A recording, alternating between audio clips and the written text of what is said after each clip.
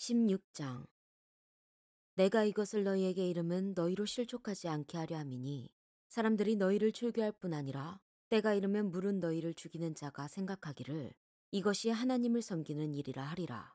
그들이 이런 일을 할 것은 아버지와 나를 알지 못함이라. 오직 너희에게 이 말을 한 것은 너희로 그때를 당하면 내가 너희에게 말한 이것을 기억나게 하려 함이요. 처음부터 이 말을 하지 아니한 것은 내가 너희와 함께 있었음이라.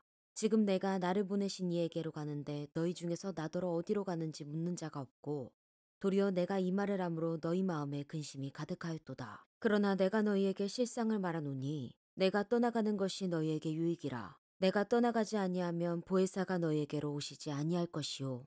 가면 내가 그를 너희에게로 보내리니 그가 와서 죄에 대하여 의에 대하여 심판에 대하여 세상을 책망하시리라. 죄에 대하여라 함은 그들이 나를 믿지 아니하며 의에 대하여라 함은 내가 아버지께로 가니 너희가 다시 나를 보지 못함이요. 심판에 대하여라 함은 이 세상 임금이 심판을 받았음이라. 내가 아직도 너희에게 이를 것이 많으나 지금은 너희가 감당하지 못하리라. 그러나 진리의 성령이 오시면 그가 너희를 모든 진리 가운데로 인도하시리니 그가 스스로 말하지 않고 오직 들은 것을 말하며 장래 일을 너희에게 알리시리라. 그가 내 영광을 나타내리니 내 것을 가지고 너희에게 알리시겠습니다. 무릇 아버지께 있는 것은 다 내 것이라. 그러므로 내가 말하기를 그가 내 것을 가지고 너희에게 알리시리라 하였노라. 조금 있으면 너희가 나를 보지 못하겠고 또 조금 있으면 나를 보리라 하시니 제자 중에서 서로 말하되 우리에게 말씀하신 바 조금 있으면 나를 보지 못하겠고 또 조금 있으면 나를 보리라 하시며 또 내가 아버지께로 감이라 하신 것이 무슨 말씀이냐 하고 또 말하되 조금 있으면이라 하신 말씀이 무슨 말씀이냐 무엇을 말씀하시는지 알지 못하노라 하거늘 예수께서 그 묻고자 함을 아시고 이르시되 내 말이 조금 있으면 나를 보지 못하겠고 또 조금 있으면 나를 보리라 하므로 서로 문의하느냐?